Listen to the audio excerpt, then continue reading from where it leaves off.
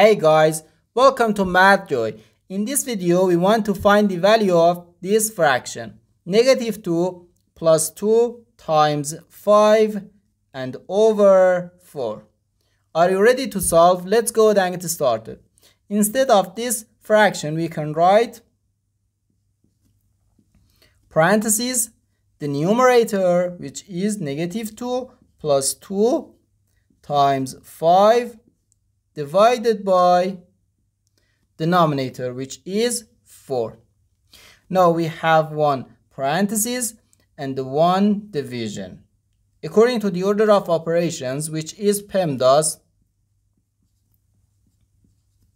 P stands for parentheses, E stands for exponents, M and D stands for multiplication and division, and A and S stands for addition and subtraction. First, we have to do parentheses, then exponents, then multiplication or division, and finally addition or subtraction. Remember that multiplication and division have equal priority and we have to work from left to right. And the same applies to addition and subtraction. So here, first we have to do this uh, parentheses. And inside this parentheses, we have one addition and one multiplication. In PEMDAS, multiplication comes before subtraction. So first we have to do this multiplication. 2 times 5 gives us 10.